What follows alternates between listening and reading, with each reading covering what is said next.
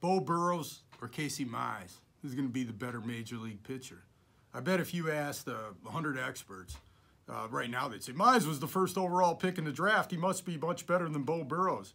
Well, think about it. Beau Burrows is the same age. Beau Burrows is pitching double A.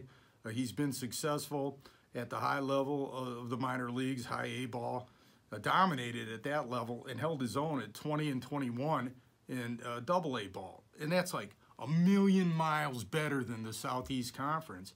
And I think Beau Burrows has a better fastball than Casey Mize. So it all depends on whether Casey Mize's off-speed pitches, which people are raving about, uh, translate to professional baseball.